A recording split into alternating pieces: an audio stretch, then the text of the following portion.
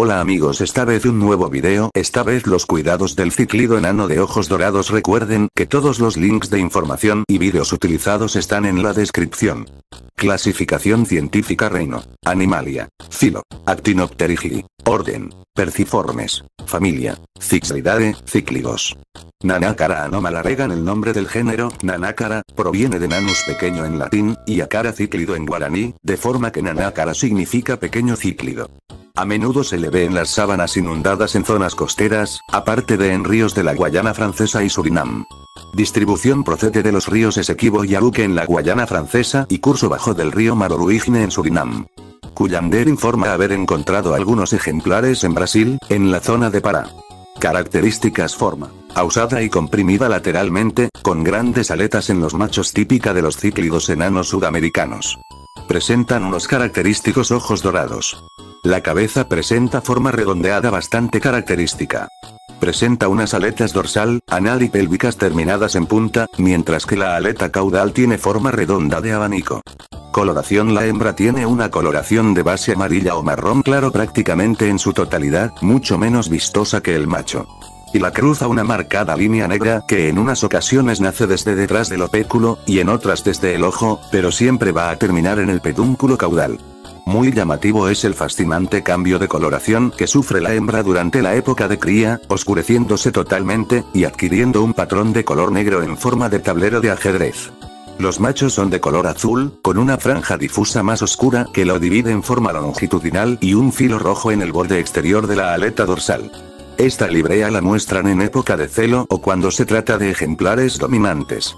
El resto del tiempo presenta un color más marrón, aunque se distinguen perfectamente los brillos azulados en sus escamas. Las hembras son siempre de color pardo uniforme con la parte inferior amarillenta, salvo en época de celo y de cría, donde presentan un dibujo ajedrezado muy característico y la cabeza de color marrón oscuro, casi negro. Tamaño hembras 4 centímetros, machos 7 centímetros. Diferencias sexuales. Muy evidentes. Aparte del mayor tamaño del macho y de las diferencias observadas en el apartado coloración, las aletas del macho son mucho más grandes y terminadas en punta.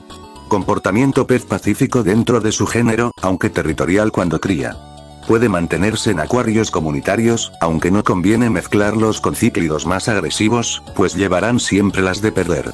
No obstante, una hembra criando es capaz de hacer frente a un loricárido, un temequio incluso a peces mayores. Los machos suelen establecer grandes territorios que pueden albergar a varias hembras. En su hábitat los territorios de los machos pueden alcanzar los 2 metros cuadrados. Reproducción La reproducción del N anómala es muy sencilla, siempre que se mantengan unas condiciones mínimas ideales para tal fin. El macho buscará un territorio que defenderá de los intrusos, y después acosará a la hembra, la cual lo terminará aceptando si está sexualmente madura. La puesta se realizará preferiblemente en una cueva, previamente elegida por el macho, sin embargo también puede darse el caso de que la puesta sea realizada sobre una hoja plana, roca, o sobre el sustrato directamente. La madre pondrá entre 100 y 300 huevos, que tardarán alrededor de 72 horas en eclosionar. La pequeña hembra pacífica y tímida, pese a ser dos o tres veces más pequeña que el macho, en el momento en que tenga una puesta, expulsará a este de su territorio sin piedad.